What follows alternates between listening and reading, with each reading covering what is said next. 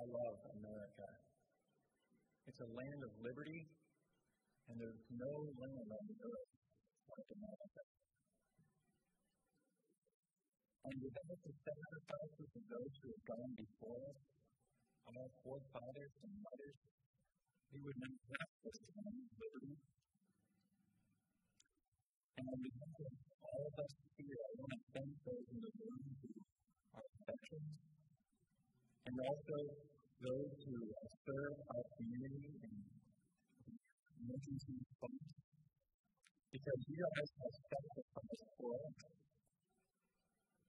I know from the time I was in school, I looked up to you guys. Uh, there used to be a radio run on the radio, old time radio called Ranger Bill. And then Ranger Bill was a Christian ranger and firefighter who risked his life to help those who were in need. And I love the adventure of this. But you know, there was something that touched me.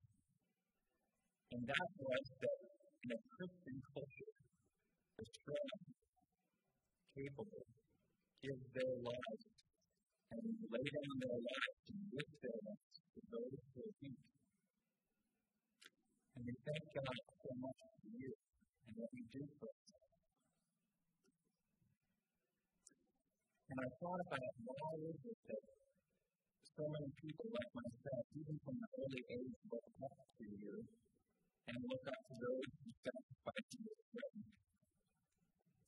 And as I thought about it, I think I realized why. It's because sacrifice draws us in.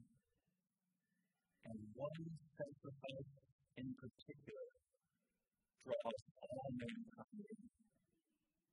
It's the sacrifice of Jesus Christ. Romans 5 6 says that when we were yet without strength, in due time, Christ died for the unconfessed.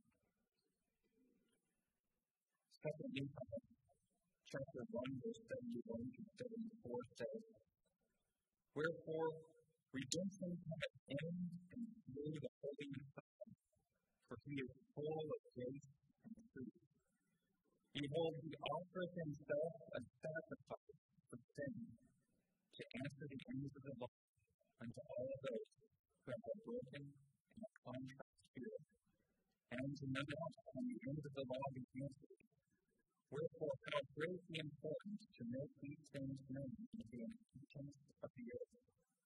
they may know that there is no place that can dwell in the presence of God, save it be through the merit and mercy and grace of the Holy Messiah, who layeth down his life according to the fact, and taketh it by the power of the Spirit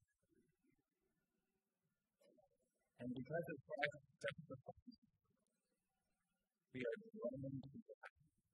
Jesus said that his sacrifice, all men will be drawn you will be lifted up.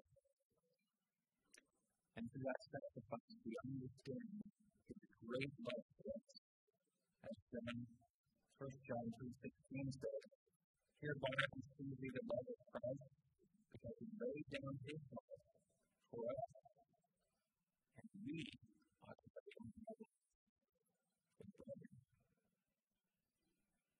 See, Christ is asking something of us. Once we accepted the sacrifice that He has given to us, He's asking us to follow in His footsteps. And I think that's the key to why we honor those who sacrifice like Jesus did.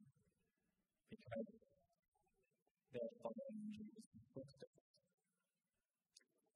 And if you want to help your people, if you want to help this church, God, it requires a sacrifice. And anybody can do it. Jesus said that if you have his follow in his footsteps, this is what he said to us. He said, Take up your cross and follow me. And he said that for us to take up our cross, it means that we should deny ourselves of all ungodliness and every worldly lust and keep the commandments. So I think the Lord is challenging us to make a sacrifice, to follow in his footsteps. Romans 12, 1 through 2 says this. I beseech you, therefore, brethren, by the mercies of God, that you present your bodies a living sacrifice, holy acceptable unto God, which your God, for the Holy Spirit, for your family, and for your country, my friends, beg you, present your body a living sacrifice